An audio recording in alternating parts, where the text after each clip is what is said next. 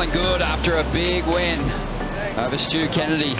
And out in the lineup now, Leonardo Fioravanti joins Ryan Callinan in heat number three. And Leo getting this heat off to a fantastic start. Hearts uh, and love is with that whole family, and obviously Philippe, such an incredible human and uh, one of everyone's favourite surfers. So he's going to be going out there this morning in uh, Noah's honour. We love that, Stace. We love Noah.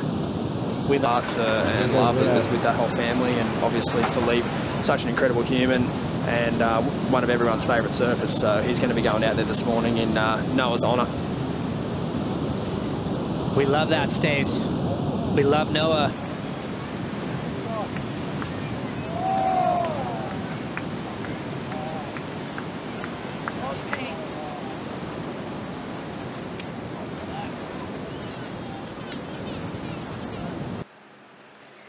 Ah, sono 3-4 gare che siamo qua in Australia, ancora non avevo passato una hit e finalmente un risultato è arrivato qua a Rotnest, però è solo l'inizio, adesso siamo a round 4 e nei prossimi giorni sarà molto interessante.